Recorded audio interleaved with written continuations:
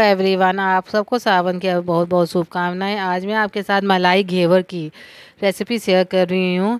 उसको बहुत आसान तरीके से बनाना मैं बताऊँगी। ज़्यादा उसको फेंटना नहीं पड़ेगा, हाथ दर्द नहीं होगा, बहुत आसान तरीके से बताती हूँ मैं।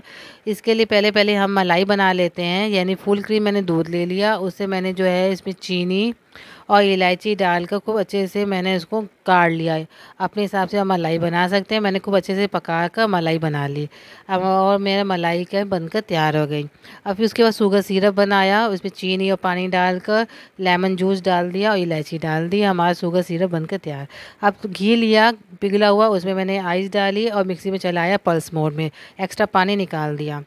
फिर इसको एक बार और चलाया, इसको मलाई की तरह बना लिया। फिर मैंने इसमें मैदा डाला और बेसन डाला, फिर चिल वाटर डाला, फिर इसको खूब चलाया मिक्सी में। खूब चलाना नहीं है, पल्स मोड में एक बार चलाना है, फिर छान दिया और इसमें चिल वाटर ही डालना है और उसको खूब बैटर को अपना ठंडा ही रखना है, चिल रखना है।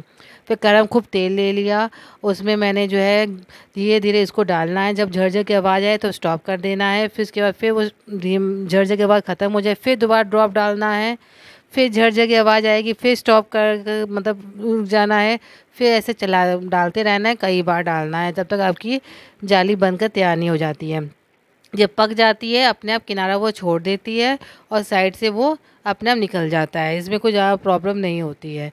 फिर इसमें शुगर सिरप डालिए, उसके बाद फिर अपने हिसाब से मलाई सजाइए और उसके बाद फिर अपने ड्राई फ्रूट अपनी पसंद से लगाइए। आपको मेरी रेसिपी कैसी लगी प्लीज़ मुझे लाइक शेयर एंड कमेंट्स कीजिए। इसकी एक ट्रिप ये ट्रिक यही है कि आप इसको ना जो बैटर बनाते हैं, उसको चिल रखिएगा। अगर आपको ज़्यादा बनाना है तो बीच बीच में फ्रीजर में रख दीजिए या नीचे बर्फ़ की सिल्ली रख दीजिएगा।